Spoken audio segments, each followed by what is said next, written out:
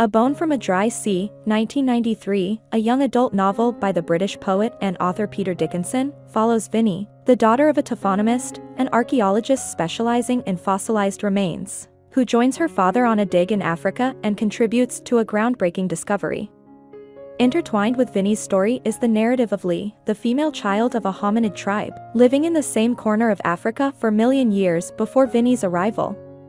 The two storylines are linked by the titular bone, evidence of Lee's prodigious genius, which has survived the eons. Dickinson is best known for his young adult novels Tulku, 1979, and City of Gold, 1980, both of which won the British Library Association's Carnegie Medal for Children's Fiction. He was born in Rhodesia, present-day Zimbabwe, and much of his fiction is set there.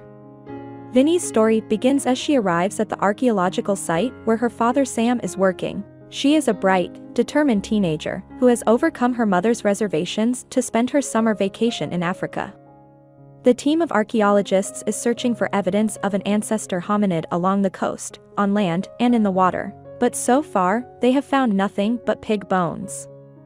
In preparation for her visit, Vinnie has read the work of feminist anthropological writer Elaine Morgan on the aquatic ape hypothesis. Morgan argues that modern humans may be descended from apes that adapted to living by the sea and spent much of their time in the water.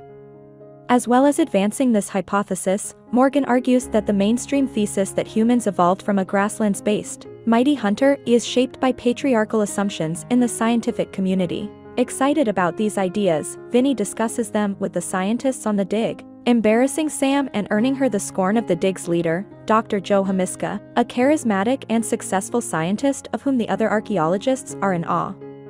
Vinnie's arrival proves a good luck charm for the diggers, they soon start to find hominid remains. Elaine points out that the remains are not incompatible with Morgan's theory, her father agrees, and soon there is conflict in the camp, between Sam and Dr. Hamiska. Dickinson provides a satirical overview of the politics of an archaeological dig, showing us the agenda of each scientist, whether scientific or career-oriented. For million years earlier, Lee lives with her tribe along the coast. Her people look more or less like humans, although smaller and stockier, with webbed toes and fingers. They spend most of their time in the water, never straying inland beyond sight of the sea. They have no tools, and they have not developed human language, there is no dialogue in Lee's sections of the books. Lee's people have always lived this way, and they cannot imagine anything different, except for Lee. Lee likes to observe things and think about them. One day, she watches a spider catch an insect in its web, and it gives her an idea. Her primitive shrimping net is the first tool the tribe has ever had, but Lee soon produces more. When a member of her tribe breaks a leg, she makes a splint to set the damaged bone. Eventually, Lee learns to cooperate with a school of dolphins that lives in the sea off the coast, and with their help, she works out how to trap large numbers of fish.